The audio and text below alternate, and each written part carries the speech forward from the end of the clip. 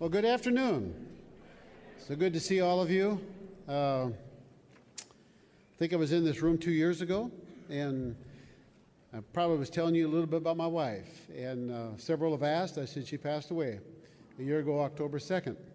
And uh, I wrote a little book about it. Uh, we were about uh, three years into a long slide down for seven years of dementia. And uh, one day I just picked up a pen and, and I just almost felt compelled to write. And I've never written in real time before like that, but that's actually what kind of happened. Uh, I'd get a phone call from the nurse and said, Your wife wants to talk to you. She feels alone. But she's standing right by the nurse. And I was just writing about that, and it was an amazing thing.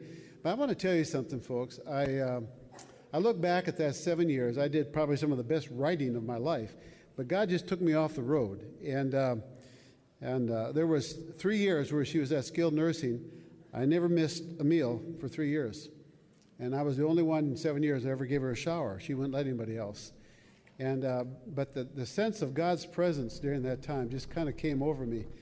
To this day, I've never felt the presence of God more than I did during that time. And the little book talks about what my presence means to her, but what God's presence meant to me. I share that because it has a lot to do with what we're talking about in terms of fear.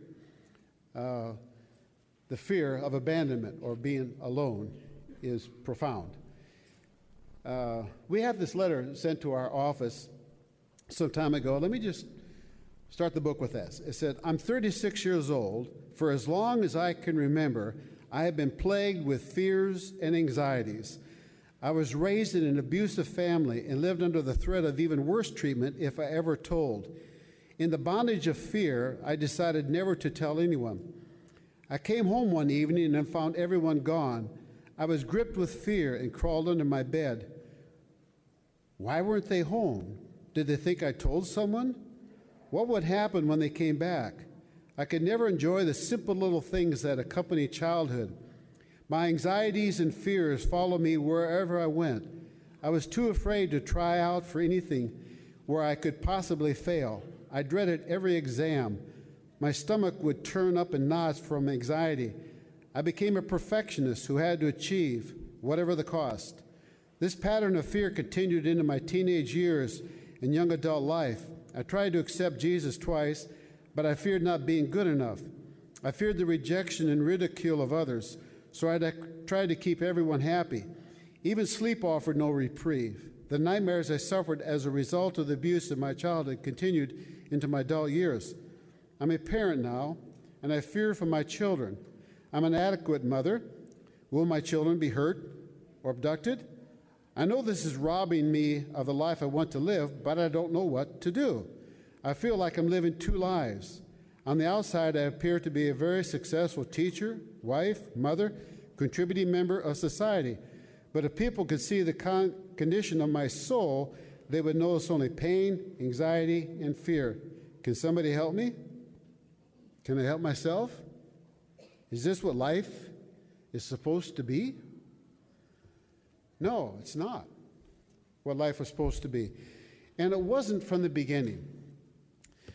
Folks, we're living in incredible times. I was an aerospace engineer 50 years ago. We celebrated the whole Apollo space program this year, 50 years of celebration. That brings back incredible memories to me. We had the guidance system for the lunar lander at that time, and it was after that that I, I went into ministry. But we also had the Hubble telescope. And I'm sure you know some of the history of that. And it went up in space and it would malfunction, and they actually fixed it in space.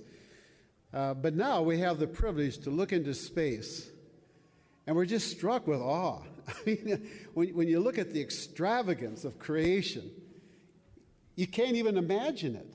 It's just beyond our, our ability to do that, and, and the, how far that we can see into space. And you say, and God created that. And all of that came from non pre existing matter.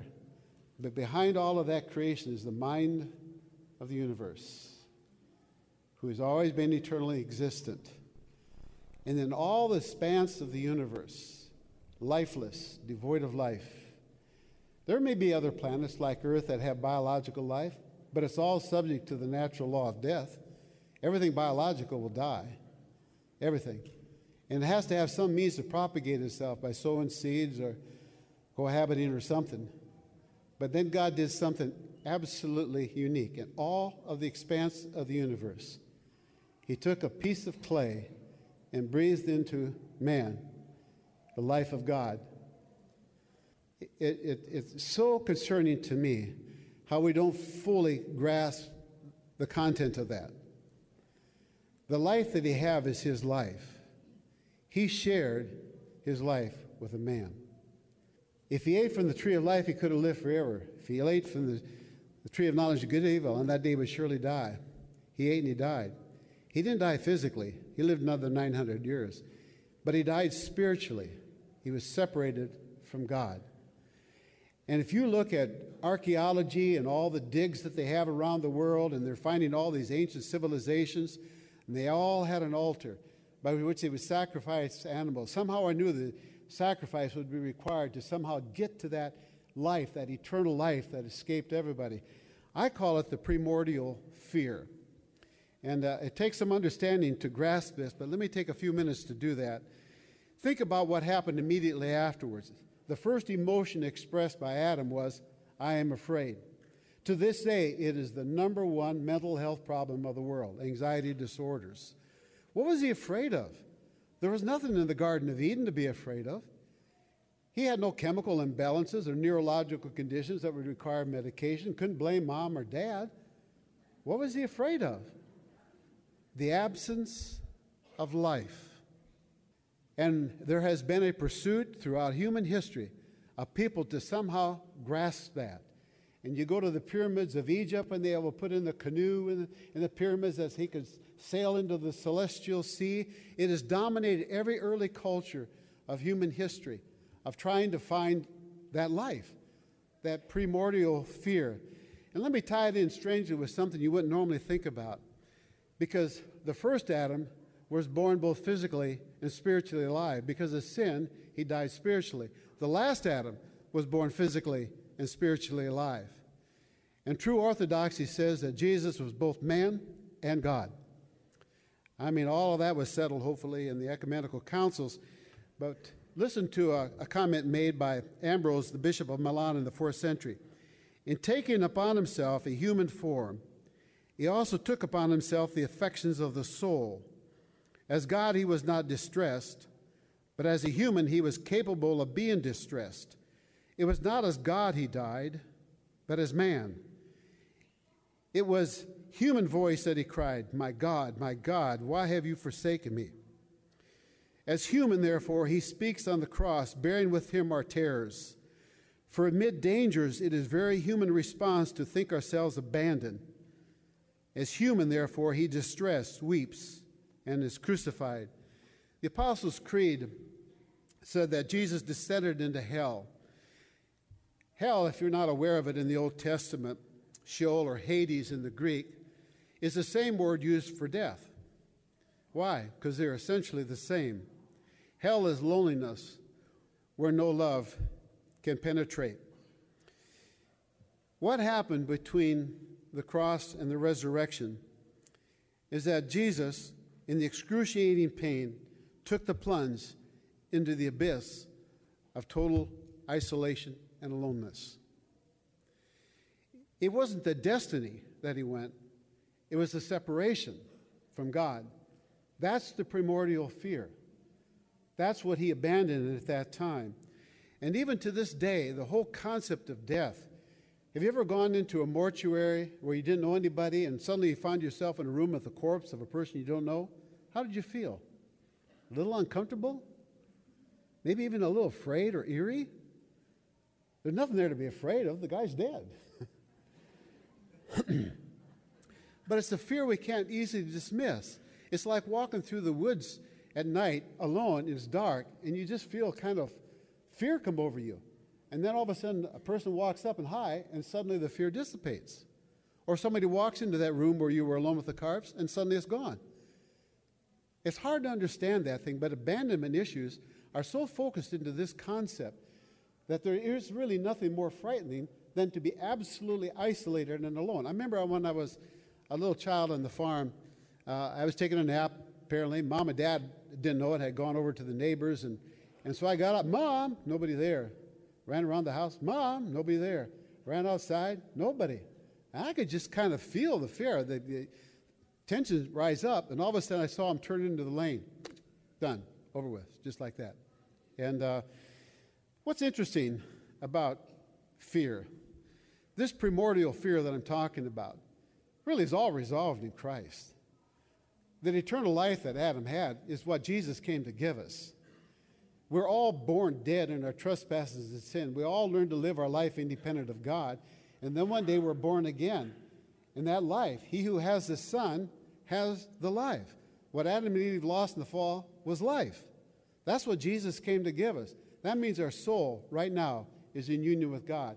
That's why, in one sense, for every believer, we're never alone. Never. Your body's a temple of God, and uh, the Holy Spirit is taking up residence in your life. And, uh, and tragically, most of the world that I have traveled is laboring under a third of the gospel. We presented Jesus as Messiah who died for our sins, and if we will put our faith in him and we die, we'll go to heaven. That would give you the impression that eternal life is something you get when you die. That is not true. He who has the Son has the life. I said, what he came to do was to walk to that cross and die for our sins, but to be resurrected that we would have new life. That's what you have, folks. Life. He who has the Son has the life. I'm the bread of life. I'm the resurrection and the life. He who believes in me will live, even if he dies. You will live spiritually, even if you die physically. That should be so embraced in everybody's mind that you would immediately respond. But that's only two thirds of the gospel. When Adam sinned, God had given them dominion over the birds of the sky, the beasts of the field, the fish of the sea. But when they sinned, they lost that and Satan became the rebel holder of authority and the God of this world. And what did Jesus come to do? To undo the works of Satan. Read it, 1 John 3 8. And during this time, we wrestle not with flesh and blood, but principalities and powers. And uh, that's the gospel most of the world is waiting to hear. Because the dominant religious orientation of this world, any missiologist will tell you this, is Spiritism and they're leaving little baskets of fruit out to ward off the demons. They're contacting their shamans and their witch doctors. Even in America, you'd have to wait to the late, late night TV to see all the ads for the psychics that are going to give you guidance. Now I saw one last week at 8 o'clock in prime time. Call the California Psychic. We'll guide your life. All kinds of testimonies come out. Folks, that's the world we're living in. He is the God of this world. That's what Jesus called him, and I believe that and we wrestle not with flesh and blood, but principalities and powers. All that enters into this. You can't give a complete answer and leave out the reality of the spiritual world. You can't. You don't have a complete answer. And so fear is the most prevalent emotion that we are experiencing in the world today. And it has been from the beginning. Most repeated commandment in Scripture, 400 times fear not. Did that work? No. well, you shouldn't be afraid. Didn't work, did it? So let's take a serious look at it. Anxiety disorders, by definition, includes panic attacks, anxiety, and depression. Let me just say a little bit, because in our book we cover all three, but I'm going to focus on fear here today. But anxiety is like fear without an adequate cause. People are anxious because they don't know. Therefore, don't be anxious about tomorrow, etc. I discovered something about that, though, that I think is very, very critical to understand. It's only used about 25 times in scriptures, and five times it's in a positive sense. All emotions are a God given thing. I mean, they're important feedbacks in our life and that are very real that we should never deny. We should just understand them. And, uh, but if you think of anxiety in the sense of care, if you got an important exam tomorrow, you should feel a little anxious. Proper response? Study. You know, uh, your kid's two hours late. You should feel anxious, shouldn't you? If you care for your child. Proper response? Pray. or call the police or whatever. But, um, and so it's not always negative, but the word itself, merimnao, comes from two root words, nous and merizo, means divided mind. And you can see that when Paul talks in Matthew about uh, the Sermon on the Mount, it says, No man can serve two masters. You'll either serve God or mammon, therefore don't be anxious about tomorrow. Take no thought for tomorrow, the King James said. They brought the right attitude out of that. In other words, you're a double minded man. According to James, a double minded man is unstable in all his ways. So when you come to Ephesians 5, 6, 7, and 8, which you're familiar with, be anxious for nothing. What he's really saying, don't be double minded about anything. Get single focused. How do you do that? But by prayer and supplication with thanksgiving, let your requests be known unto God. And the peace of God will guard your heart and your mind in Christ Jesus. But don't stop there. Turn to God first. Now you got a responsibility. Think upon that which is true and lovely and right. And don't stop there. Read the next verse. Do the right thing. Do the noble thing. You live it out. If you just think about it, it won't do it for you. You have to put into action the words that you believe. Faith always requires an action and a response to it. But we're looking at fear primarily because fear is the dominant issue, I believe. And uh, now, fear is different because fear is actually identified by its object. We identify fear by its object. We have a whole categorization of fears claustrophobia, agoraphobia, etc. Arachnophobia is a fear of, yeah, you saw the movie. And uh, uh, now, in order for a fear object to be legitimate, it has to have two attributes. It has to be, in my own mind, somehow potent, somehow present. Now, fear, again, is a God given thing. Anytime your physical or psychological safety is threatened, fear is what you're going to experience. That's good. That's natural. Even animals have it, or they'd all be roadkill. And uh, so, what's interesting about it is, in order for it to be legitimate, it has to have both attributes. All you got to do is take one of the attributes away, and it's no longer potent. For instance, I moved from Arizona to here, in my home I had in Arizona. I counted seven rattlesnakes on my property over the time we lived there. One in my garage. Freaked my wife out. And uh, it did me until I found out what it was. Anyway, it was, uh, but right now, I actually have no fear of rattlesnakes. You know why? There's none here. And um, now, if you threw one of those babies in and it landed right here, man, it would be exit stage right, folks, just like that. I mean, I would probably do a little damage getting it out of the way because uh, it's both eminent and it's both potent. Now, what if you threw one in, it landed right here, present, but dead? Provided I was sure it was dead.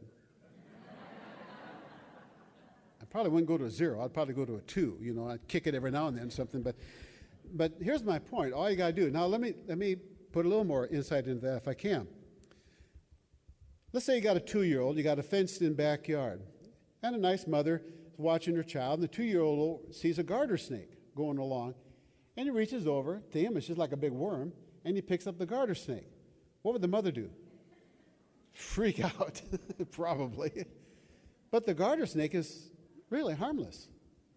What would a zoologist do? Would he have trouble picking up that snake? No. What I'm saying is there's a learned aspect to this, and there is for everything. People are afraid of heights. I said if you've fallen off a ladder a few times, you're going to learn to kind of respect heights. If you burn your fingers, you learn to have a caution with stoves. The problem is, a lot of that learning is not based on truth. And then you end up with a phobia. Now, that'll come into play when we get to it just a little bit later on. But um, so let me just look at three major fear objects. I mean, these are the big ones. In fact, to be honest with you, Almost all of the others are subordinate to these three, maybe four. I kind of kind of added that on. I'll get there in a, in a little bit, but uh, but first of all, really, death is the other one, and that's I'm talking about physical death now. I mean, your physical life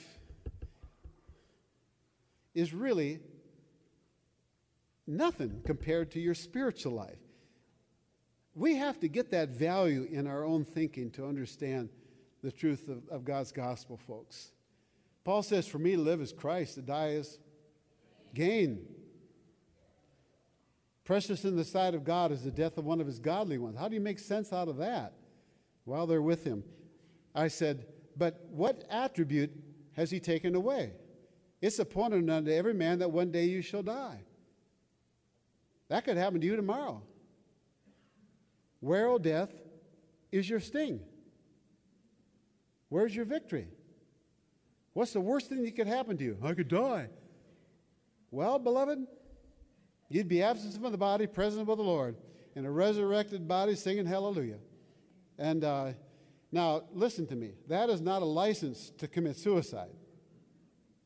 Because we're supposed to be a good steward of the life that God has entrusted to us. My point is the person who's free from the fear of death is free to live today. That's my point. And that's the point I think God wants us to have is that I don't have to face or fear tomorrow for the simple reason God's going to supply all of my needs according to his riches and glory. But not only that, even if I should die tomorrow, I know where I'm going to go. I know where I'm going to be. I've written these unto, that you may know that you have eternal life. It's something that God wants us to know. I'm not making fun of this because, you know, people, listen, I just lost my wife of 52 years. And a loss is a loss. And losses oftentimes are the key thing that triggers off depression in people's life. But you know, I've written on that as well. And I, I thank God for the truth that God has given to us because I'm neither alone nor depressed over this whole issue because I know where my wife is. And I look back and I said, thank God for the 52 years we had together. And I thank God I had to use almost all my retirement to take care of her. But truth of the matter is, I'm glad I had the money to do it. And I don't regret any of that for a second, folks. And, uh, and, but there was no fear there. There shouldn't be for any of us if we understood it. And for what it's worth, be a responsible parent and don't leave those decisions for your kids. Work out your will, take care of that kind of stuff. When I go on a trip, I got on my pool table in my office right there where my will is, where my money is, where my retirement is. That's all taken care of for my kids. I've already made arrangements at the funeral home for myself.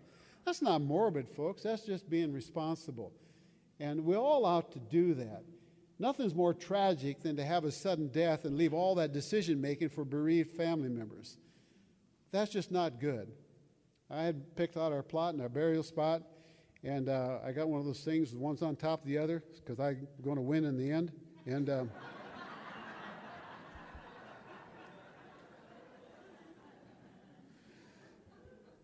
so there should be no fear of death, not if we understood this properly.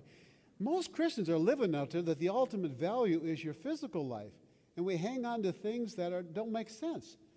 And I said, let it go. Put your hands in, in the life of God. What you have is eternal. The primordial fear is gone. And uh, now, uh, you know, I'm not looking forward to dying. That's a little different thing. You know, the truth of the matter is. But death, I'll tell you what, I'm at a point in my life where I'm just really looking forward to what is heaven going to be like. You want to know interesting thing? What's the first verse in the Bible? God created, say the word again. Is it plural or singular? Plural. Isn't that odd? Do you ever think about that? Paul was caught up into the third heaven. What is that? I don't know, but I'm looking forward to finding out. See, that's the point. it's uh, Secondly, don't fear man. That's the other big issue. Whether it's your husband, your spouse, your kids, even your boss at work, you know, dictators, uh, politics. Wow. Uh, but Jesus said, Don't fear those who kill the body. Isn't that an interesting statement? Just stop right there. Don't fear them who can kill the body. Why? Because death has no power over me. The last victory that Jesus conquered was death. And he said, But fear him who can destroy both body and soul in hell. Isolation, loneliness, separation from God. And uh, now think about that for a moment. Paul says, If you call me a people pleaser, I'm not a bondservant of Christ. If you're a people pleaser, who are you a bondservant of? Man. What power does that person have only over you? Only what you give. Suppose you got a kind of an obnoxious boss and terrorizes you at work and you're afraid of the man and, and uh, but you're not right now, are you? Why not? He's not here. But you go to work Monday morning, there he is, you know, and you're terrorized. And, uh, and then every morning about 10, 10.30, something like that, you go into the lunchroom and, and there's a little sanctuary. He's not in there. So you talk about him. You know, and your friend sitting across the table and going,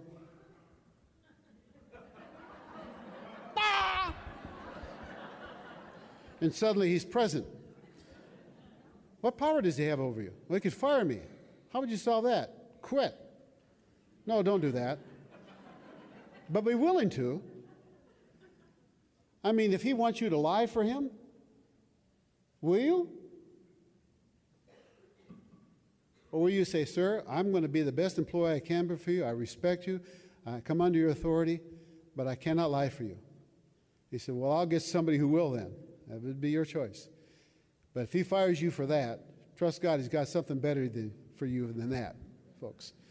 And that just goes across the board in our marriages, in our families, and whatever else.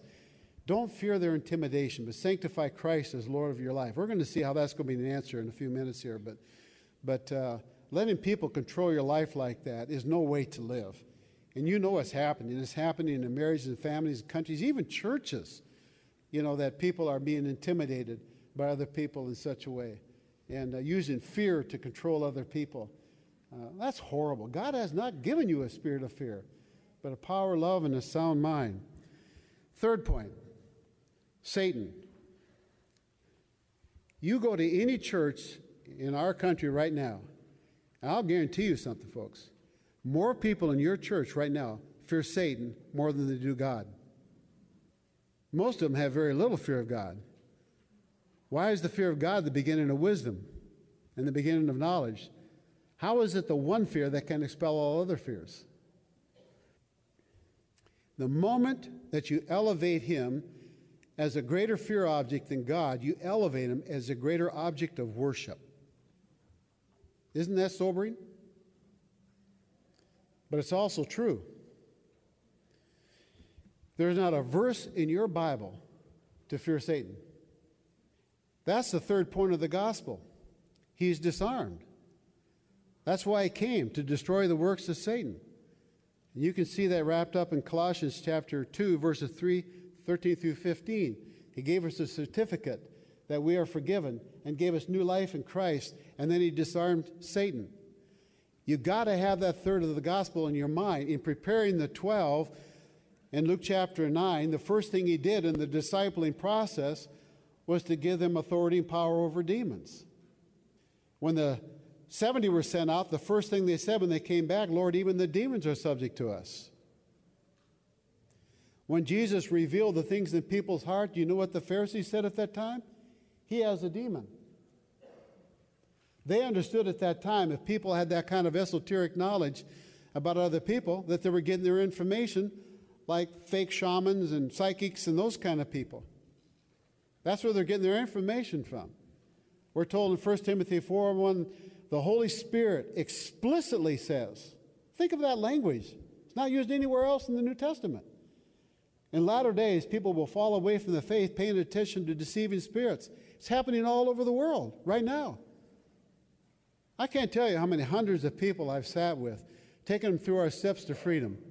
Submit to God, resist the devil, and walk out with the peace of God guarding their heart and their mind. I can't tell you one today that's hearing blasphemous, condemning thoughts that it hasn't been demonic. Everyone has been for me. Everyone. And the best way to answer that question is did you want to think that thought? Did you make a conscious choice to think that thought? Then why do you think it's yours? Well, I got a chemical imbalance. How can a chemical produce a personality and a thought? How could your neurotransmitters randomly fire create a thought that you're opposed to thinking? You have a natural explanation for that? There isn't one. What you'll hear, I gave antipsychotic medications and the voices stopped. Well, of course, so did everything else. All you did was narcotize it, take the medicine away, and it's back. You haven't fixed the thing. You hear me on this? This is not just me talking. Everybody out there is dealing with people who are hearing voices, but it's just the secular world has just passed this off as somehow some natural phenomena. It is not, people. It is not.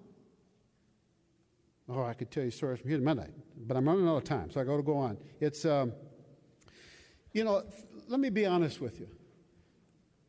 This is the eternal battle. This is not a game. When you read your Bible today, it's all about the kingdom of darkness and the kingdom of God between the truth the lies, the father of lies and the spirit of truth, and Christ and the Antichrist.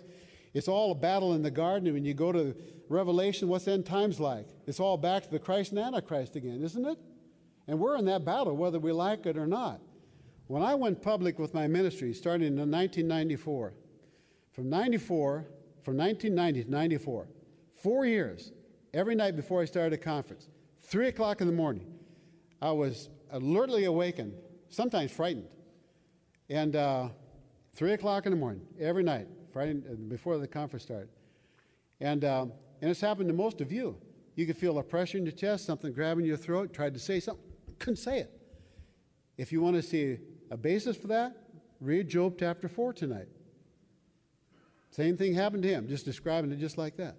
That is a spiritual attack. How do you solve that? I tried to call up in the name of the Lord, but I just felt paralyzed. I said, You can always talk to God inwardly because He knows the thoughts and intentions of your heart.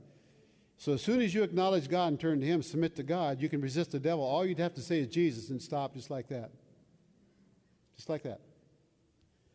Every church I've done a conference in, I've asked how many have had that experience. A third of the people raise their hand every time. And the more high profile the ministry, numbers go way up. When I did this to all the leadership at Swindoll's church when he was in Fullerton, 250 leaders, almost every hand raised. We're under attack. Why does that surprise us? We've been clearly warned that would happen. But we have all the protection we need in Christ. I like the story of a father driving along his little Volkswagen with his wife, two kids in the back seat, and a bee comes in the back window. And the kids throw him, No, there's a bee here. And dad reaches back and grabs the bee and, in his hand, and the stinger goes into his hand. And then he releases the bee. Dad, the bee's loose. Kids, look at my hand. Christian, Jesus is saying, Look at my hand. Look at my side. Look at my feet. I took the sting, folks. He died on the cross for that. And you got some kind of visitation in your room at night. Don't you want to know that you have the authority to deal with that? This is not some obscure doctrine. It's all Ephesians 1 and 2. It's all the value of being seated with Christ in the heavenlies. We're in a spiritual battle. If you can't see it, I don't know what else I could show you. How about the first page of your paper next Sunday? And the church, folks, limps along as though we have no authority to deal with these kind of issues. I've been asked by groups of pastors in Southern California, I'm going to speak to next week. I said, I said, what do you want me to talk about? They said, evil. Really? In our culture? I mean, it's interesting because there's all kinds of evil things going on, but I said there is no evil without personhood. Evil didn't cause that, evil is a result. How many times you said the Lord's Prayer and said, Deliver us from evil? You know what every foreign translation says? Deliver us from the evil one. There's a definite article before the word evil. And all your early church writers, if you look at any one of their commentaries, all said that. And somehow we've taken that out of our vocabulary. I don't understand it, folks. But he is the evil one. And, and we're in that battle, and fear is going to be part of that battle, whether you like it or not.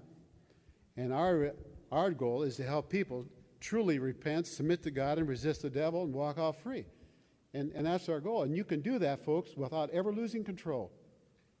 Ever losing control. You can just deal with the person. It's a repentance process. 2 Timothy 2.24, and we'll do the best we can to help you if we can. Fear of God is the interesting one. Why do we fear God? It's, uh, let me point out an interesting thing about fearing God. Excuse me just for a second.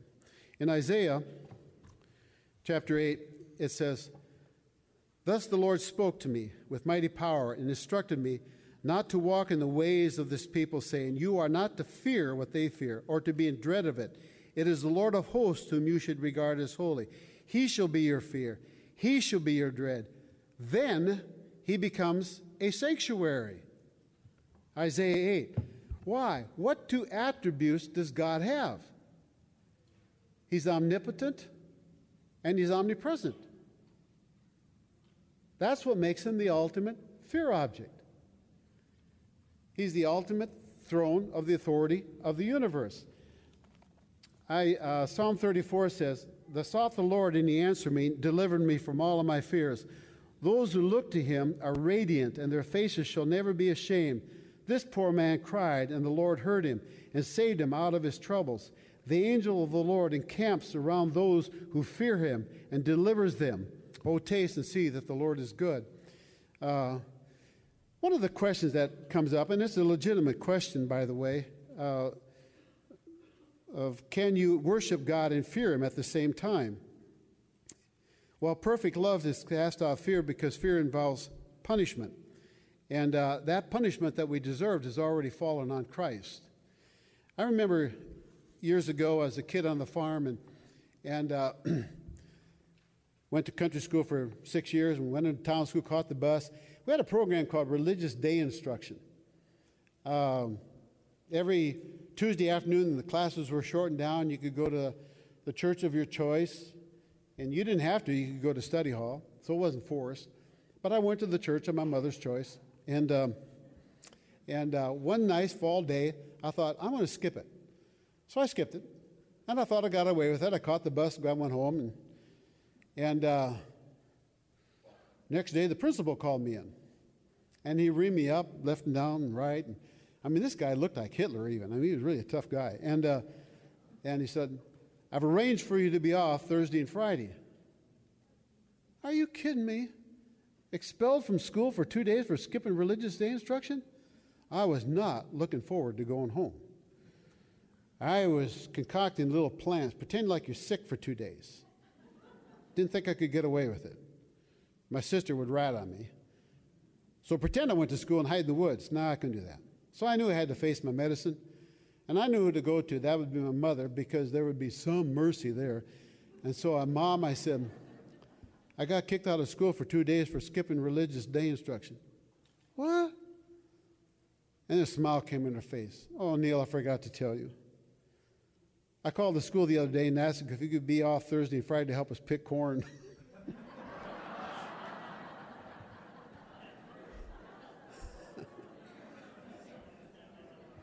Now, if you've done something wrong, you don't want to face the authority figure, right? And that's how most Christians are. They walk around on grass, glass, waiting for the, you know, the hammer to fall upon us, you know. And I said, Christians, the hammer fell. It fell on Christ. You're not a sinner in the hands of an angry God. You're a saint in the hands of a loving God who called you to come before his presence with confidence, with boldness, with your heart sprinkled clean. If I knew about that, would I have dreaded going home? Are you kidding me? I'd have ran up that lane. Hi, mom and dad, how you doing? But I didn't know that. And so I was afraid to face them. But I'll tell you what, when you see God, you're going to look into the face of pure love, folks. Pure love, pure righteousness, pure light. I'm looking forward to it. I'll be honest with you. In my age, you got to have something to look forward to. And um, but listen to this just for a second. Perfect love is fast cast off fear because fear involves punishment. That punishment has already fallen on Christ. And yet, the fear of the Lord is, is the beginning of wisdom. And, and there is a bema seat judgment. I'm going to have to stand before God someday and give an account for every deed done in the flesh, whether good or bad. And, uh, and that's not for, for punishment going to hell. That essentially is for rewards, as I understand it. I said, but that accountability really does you know, have an effect on me because fear is a powerful motivation. And there's nothing bigger in my life to motivate me more than I want to stand before God someday and have him say, Oh, limp in, you jerk. I want him to say, Well done, good and faithful servant, don't you? I want to have a legacy behind me. I want to be able to say, Thank you for being faithful all these years to the truth and entrusted that I gave to you. But listen to me loving God and fearing God are not mutually exclusive. Do you love someone who's always truthful? Do you love that person? Do you love someone who is big enough to protect you from your enemies? Do you love someone who has the means and desire to supply all your needs? Do you love someone who forgives you when you sin, accepts you for who you are, loves you unconditionally? Do you love someone who will ensure that justice is done in the end? Do you love someone who volunteers to serve your sentence when you're found guilty? Do you love someone who cares enough to discipline you so that you don't miss out on your rewards? Do you love someone who sets you free and enables you to become all that you were created to be? Suppose that someone is so holy and majestic that to be full in his presence would require a resurrected body, and all those who are privileged to see him can't stop singing his praises. For as high as the heavens are above the earth, so great is the loving kindness towards those who fear him.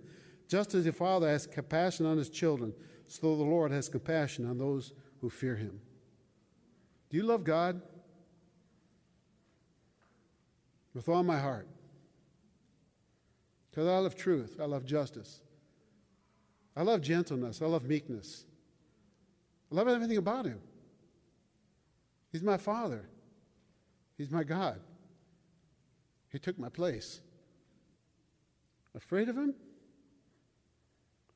No, but I'm highly motivated to want to please him. Paul says, make it your ambition to live your life to please God. Don't play for the grandstand, play for the coach, folks. Change your life. I come across something some time ago that kind of surprised me. And uh, how many people struggle with a fear of failure? That uh, I had to dig into that a little bit because I, I, I, have to confess it hasn't really been a, a major struggle for me in my life. But I remember doing a doctor ministry class at, at Denver Seminary and have a, everybody fill out a little form beforehand. I'm taking this class because, and one of the sentence completions was the thing I fear the most is 17 out of 17 they said it in different ways, but 17 out of 17 of the pastors essentially said fear of failure. And I looked at that and I said, How come nobody said fear of God? And the motorboat came on. But, but, but, but, but, but, but, but, but, but, but. I said, Well, now think about that for a moment, folks, because if you're motivated not to fail, that's not the same motivation to succeed. That's like sticking your car in reverse and slamming on the brake. You're not going to get very far that way. Everybody lumps, likes the security of the trunk, but truth of the matter is all the fruit is out on the edge of the limb. Somewhere along the line, faith is a risk. It's a risk that we all take. It's a risk we should be willing to take to be a faithful person and a steward of God. I've read a couple autobiographies I did years ago about Teddy Roosevelt. What an interesting character that guy was. I mean, he was kind of a pot bellied guy, had poor eyesight, but he just did some of the most incredible, daring stuff. He left this little legacy. It's not the critic who counts, nor the man who points out how the strong man stumbled or where the doer of deeds could have done better. The credit belongs to the man who is actually in the arena, whose face is marred by the dust and sweat and blood, who strives valiantly, who errs and comes short again and again who knows the great enthusiasms, the great devotions, and spends himself in a worthy cause, who, at the best, knows in the end the triumph of high achievement, and who, at the worst, if he fails, at least fails while daring greatly, so that he place shall never be with those who are cold and timid souls who know neither victory nor defeat.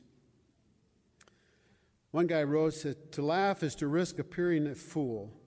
To weep is to risk appearing sentimental. To reach out for another is to risk involvement. To expose feelings is to risk exposing your true self. To place your ideas and dreams before a crowd is to risk their loss. To love is to risk not being loved in return. To live is to risk dying. To hope is to risk despair. To try is to risk failure. But risks must be taken because the greatest hazard in life is to risk nothing. The person who risks nothing, does nothing, has nothing, is nothing. He may avoid suffering and sorrow, but he cannot learn, feel, change, grow, or live. Chained by his certitude, he is a slave who has forfeited all freedom. Only a person who risks is free. How would you define failure? To stumble and fall is not failure. To stumble and fall again is not failure. Failure comes when you say you're pushed and fail to get up again. To make a mistake is not failure unless you fail to learn from it. My life verse is in Proverbs 24 16. The righteous fall seven times, but they get up again. the difference between the winner and the loser is the winner got up one more time than the loser did. And uh, this famous executive was retiring and he had quite a legacy left behind him. And this young executive was going to take his place and said, Sir, how do you account for your great success? Said, No mistakes. Whoa. How do you get to the point where you make no mistakes? A lot of experience, What kind of experience? A lot of mistakes. true, isn't it? It's true. It's true. We're a success. You know, when Joshua was going to the promised land, he said, If you only keep the word of my mouth and keep it meditating you will have success wherever you go, and then you will prosper. I said, How would I understand success? Because you can be a complete failure in the, in the eyes of the world and complete success in the eyes of God. The world could look at Jesus and call him a failure if they didn't understand what he did. You know, well, nice job, but you died on the cross. But I finished the work he called me to do. And, um, uh, but you can be a complete success in this world, a complete failure in the eyes of God. I, I think it's descending order in this way. I think success really begins, if you really want to be successful in God's eyes, I said, then know God and his ways. I count everything but rubbish apart from the surpassing value of knowing Christ Jesus my Lord. Uh, if you know God and his ways, that's the only thing you can boast in. Jeremiah in 1 Corinthians 1 said, Let him who boasts boast in this, that he understands and knows me. The second is, is to become the person God created you to be. That is God's will for your life. There is nobody on this planet, there is nothing thing, nothing that can keep you from being the person God created you to be but yourself. Deeply believe that. This is God's will for your life, your sanctification. It's being before doing, maturity before ministry, character before career. Focus on becoming the person God has created you to be, and then things start to open up. And thirdly, be a good steward of the time, talent, and treasures that God has trusted to you. I heard the last end of Pompeo's speech this morning, and that was alluding to the talents that his, God has given to us. And just take what God has given to you and be a good steward of that. Take what time God has given you, what treasure He's given to you, use it to the glory of God. You do that, folks, you'll be successful. And there's nobody out there that can keep that from happening but ourselves. And uh, how my time doing here? Terrible. Anyway, uh, let's, let's take a look at this thing because phobias are irrational. I mean, the word is given to us right there. It's an irrational fear. If that's the case, then somewhere along the line, I'm believing a lie. Are you with me? That's really true. See, the problem it is, is how do we get at that? You will not solve the phobia, essentially, if you don't deal with the lie. You can't deal with the effect. It's the cause behind it. There's something I'm believing that's not true. That's why it's truth that sets us free. Uh, I remember I was up in another country. I'll just say this. God won't identify the person. But I started at a conference, and this really attractive 40 year old lady comes up. Uh, it turned out she had five businesses. Uh, she said, Can I have a, some personal time with you? And the Spirit of God said, Not alone. and um, so, Pastor was there, and I said, You got some time Monday morning? He said, I do. I said, uh, Would you uh, meet with me? And so the three of us met. And uh, here's a gal who, who grew up in a very, uh, very prominent Christian home, actually, very conservative. She's got five businesses.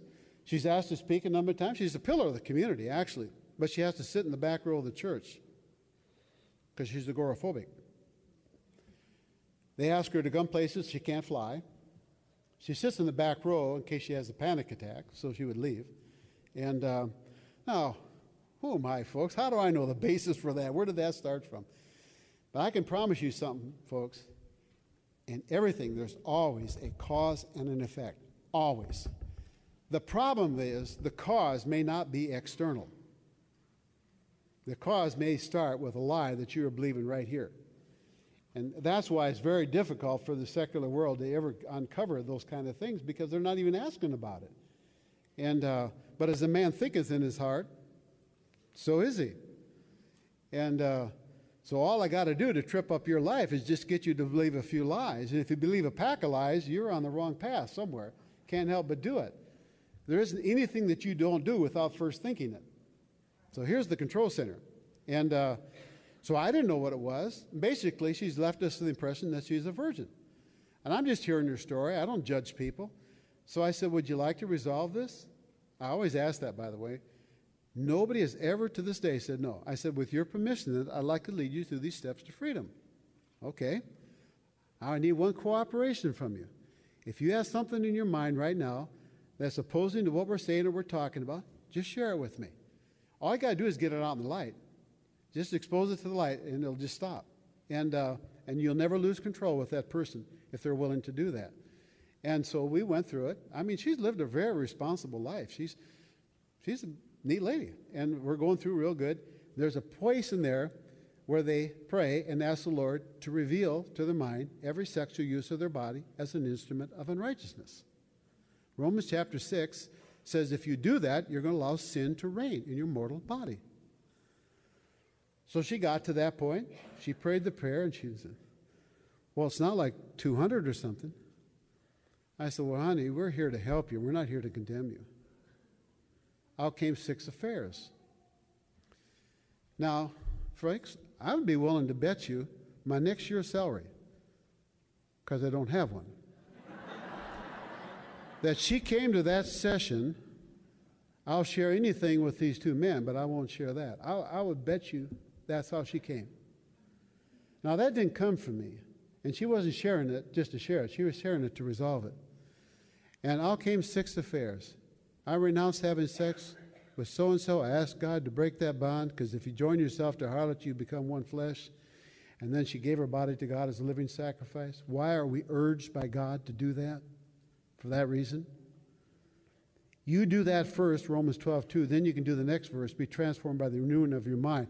But if you're trying to win this sexual struggle that you're in without breaking the bondage first, trying to renew your mind is almost impossible, if not impossible. Well, folks, she made it through.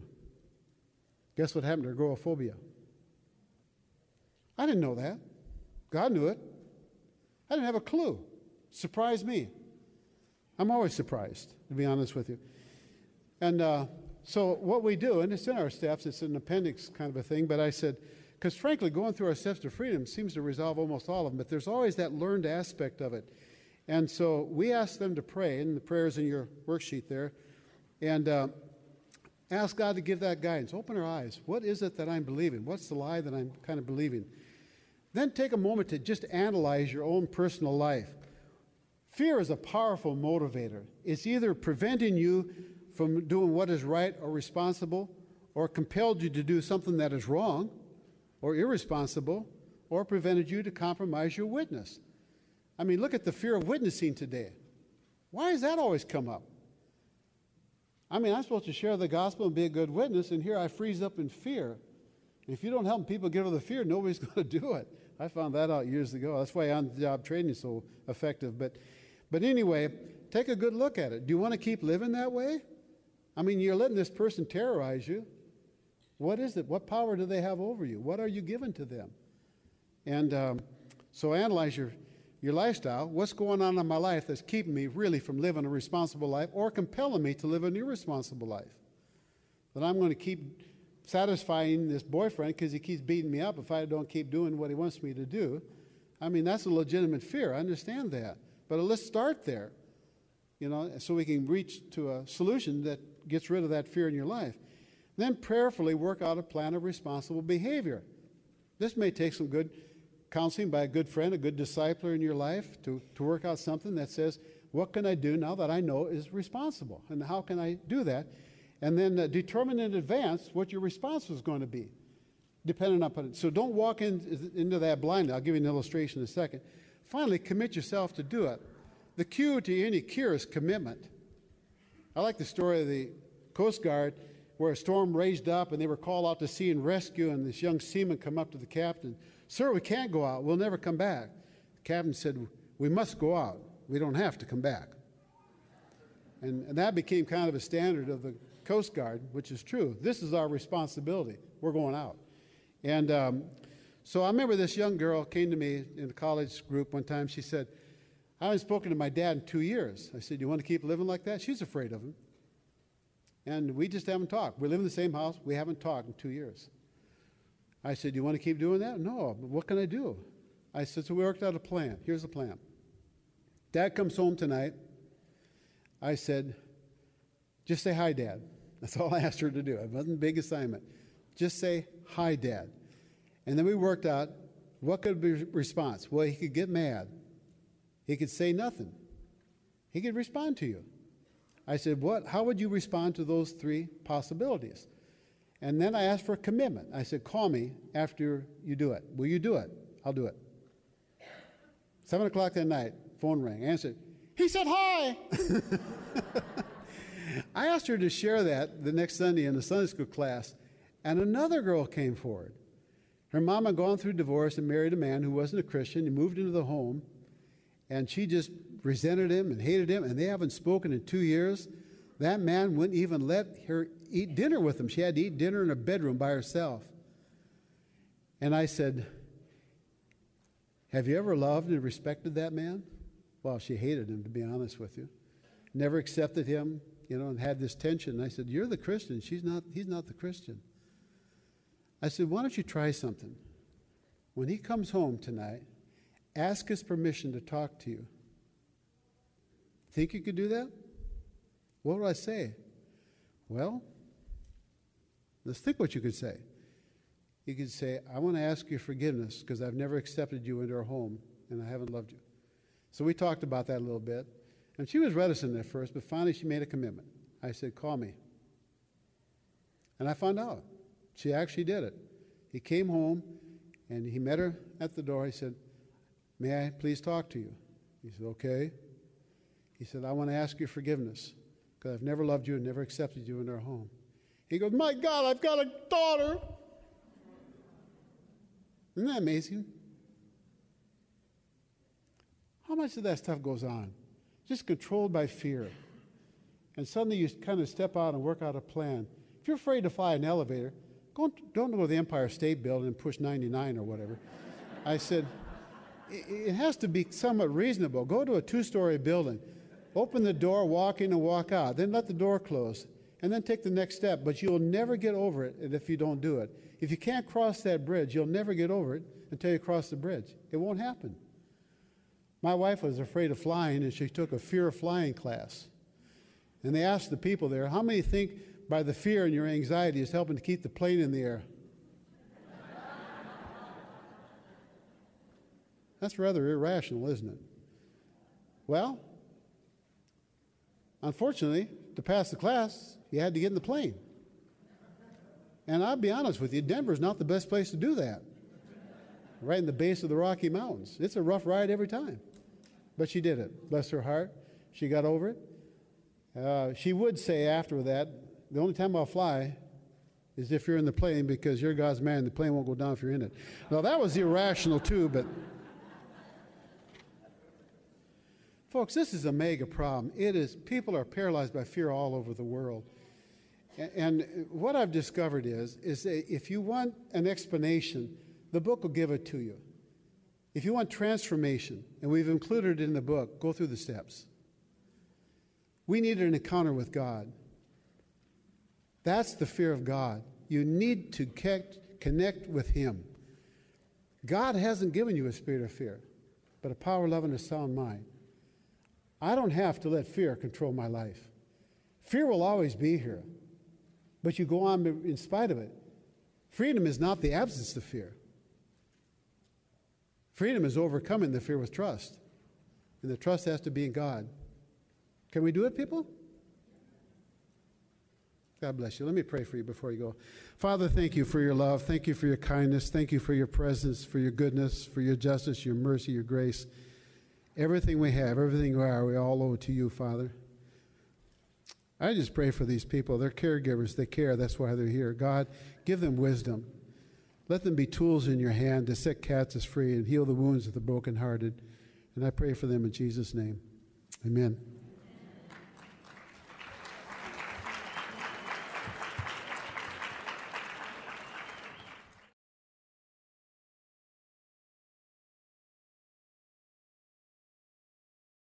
Thank you for your prayerful support of Freedom in Christ Ministries. All of our content is made possible by you. Your generous support and financial gifts make these videos and our ministry possible. For more information on how to support our ministry, please visit www.freedominchrist.org and click Get Involved.